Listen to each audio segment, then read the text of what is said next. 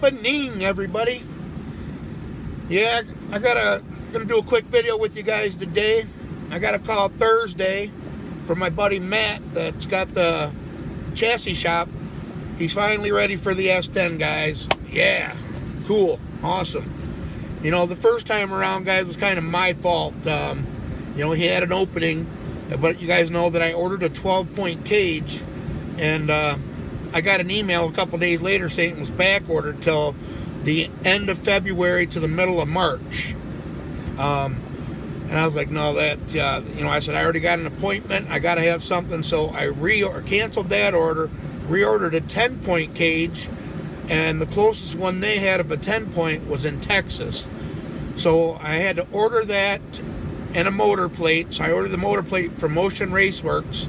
I got that in, and it was the wrong motor plate. So I called Matt and told him it was going to be, you know, another, you know, the following weekend before I could get the truck there.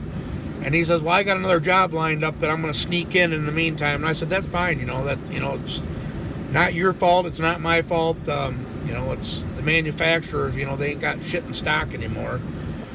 So he did that and he finally got that job done. So he's ready for this, in which I had to order extra tubing too from Alro Steel up here in Bay City um, to go through the firewall and down to the front frame rails um, and build the tabs off of for the motor plate.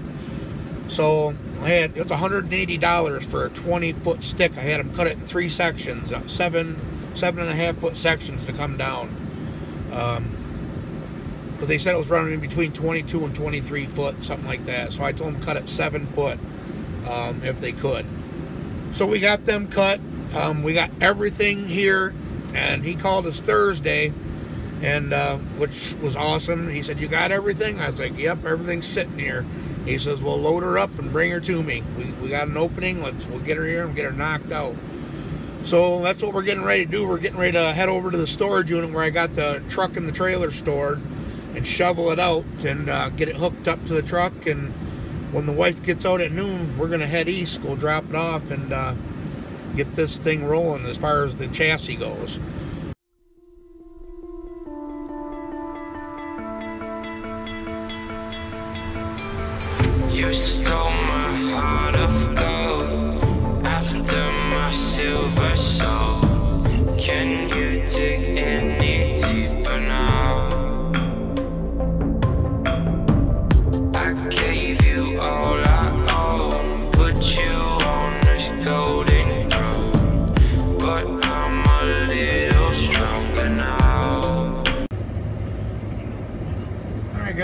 Ready to pull in here. Hopefully they got it plowed out. It ain't gonna be too, well, it doesn't look like they plowed in a while.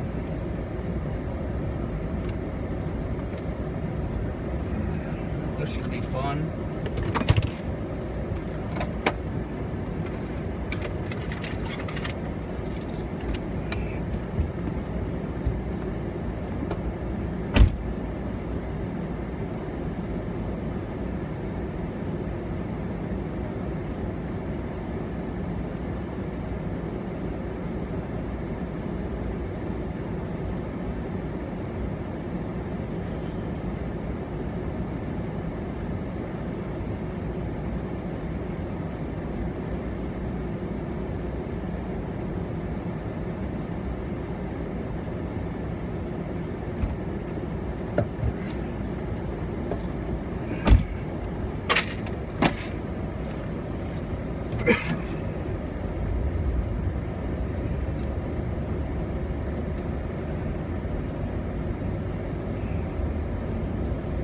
There's out here.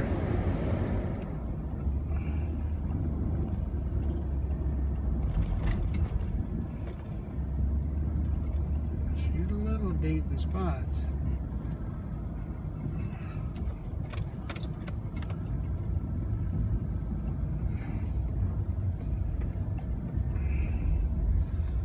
I don't think we need to shovel.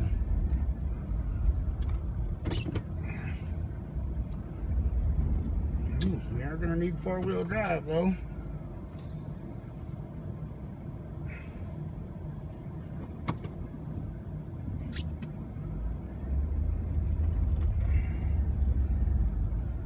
Deeper than it actually looks.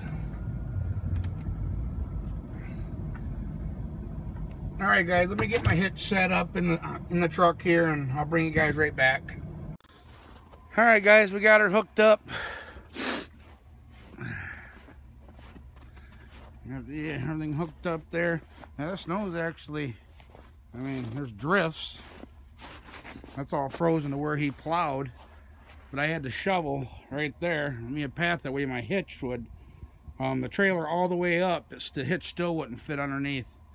Uh, so I had to shovel all that ice and stuff out of there. Wasn't too bad. My block, tire block froze in the ground. I got one loose strap here and a flat. Um, one loose strap and of course my straps are frozen. So I'm gonna have to go home and get a, uh, that's the only one that's uh, loose. And I'm only probably, I don't know, maybe five miles from home. I'll just take it easy. The other three are tight, so. But yeah, guys, uh, there's the old future race truck for the summer. Finally going to the chassis shop. I wish I could have got it out uh, earlier. Tony had a bunch of shit in the shop. I could have actually pulled it in there and thawed it out for him, but um, that's one thing going to be nice about when I get my garage here in the next couple weeks. I'll be able to pull in what I want. There's the old camper. Pull in what I want, when I want, thaw it out. So if you're watching this, Matt, sorry about the, the frozenness, but all right, guys, I'm going to get this out of here and uh,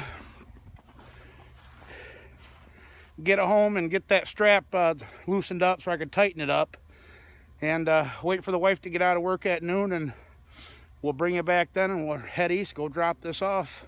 All right, guys, we made her over here to the wife's work, waiting for her to get out. Um, we got everything on the truck pretty much uh, good to go. I got the tire pumped up.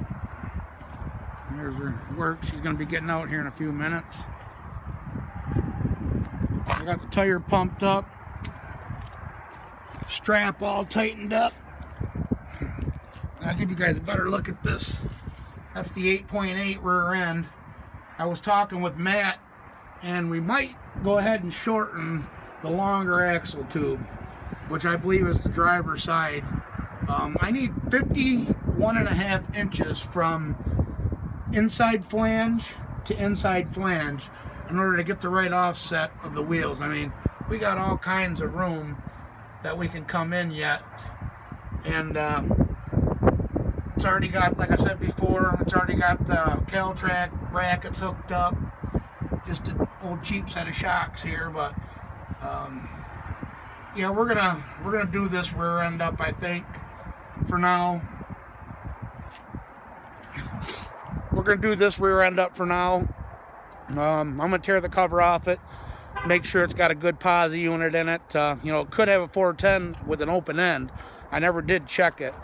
But uh, we're also going to be putting um, uh, an X-brace in the frame going from back there to up here. I'm building a tubular uh, transmission mount, or Matt is. Tubular transmission mount. It's getting a 12 point cage. So we're to have the main hoop, the main hoop, the roof hoop, our down bars for the front, a cross bar that goes across the dash bar it's called. You got your side bars. You got two bars that come out of the firewall here and are to go to approximately up in here I do believe.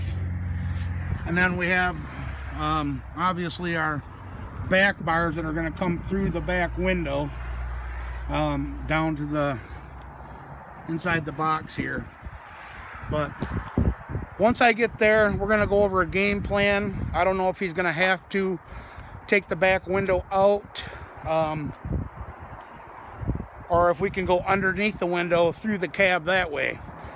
I know it won't be NHRA legal if we go low like that, but it'll be, um, you know, I ain't ever going to be at an NHRA track with this anyway, so.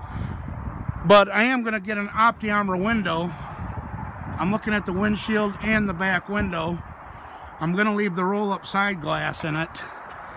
Um, but if he has to go through the back window, I'm gonna, like I said, I'm gonna get an Optic Armor uh, back window. Look at that sticker.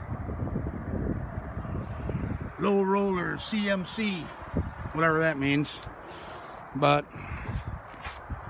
looking pretty good.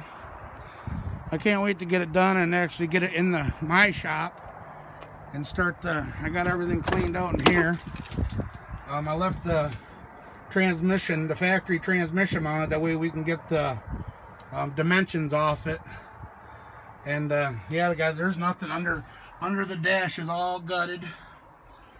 Um, everything. So I don't know if I'm gonna put the dash back in it. I haven't decided yet what we're what the whole scheme is, but I know it's a perfect platform for what we're doing. For it's a good start for what we're gonna be doing. Um, I am going with the 427. I might change up the 427 though. I mean, it might. I've been looking on online, and I might go with an LS. You know, a 427 Dart LS block is right around the same price as the 427 um, first gen price range to to assemble a bottom end. You know, a short block. So I've been tossing it around.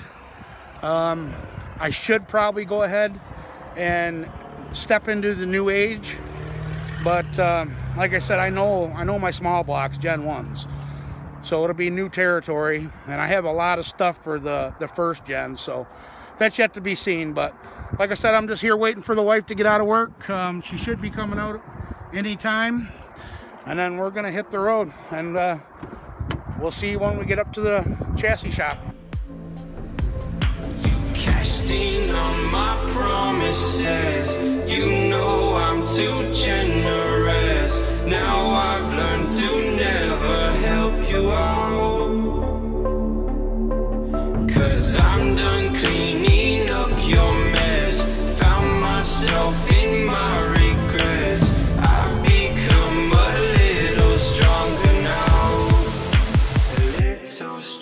Right, guys, we got the truck off the trailer.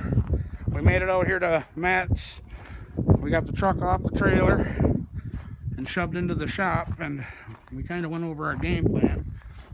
We got a Fox body on the trailer, an old Ford, looks like.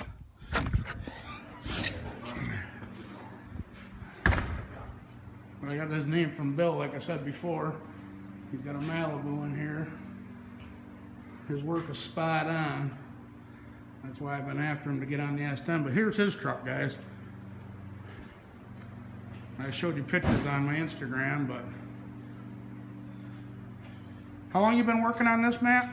Uh, I started on it last year, kind of in, in between everybody else's stuff. Yeah, this is the uh, first Gen S10 square body, but uh, he went uh, four link all out on this one. Beautiful work. He does TIG, MIG, and the welder is beautiful. Wish we had the time and money to go with something like this. A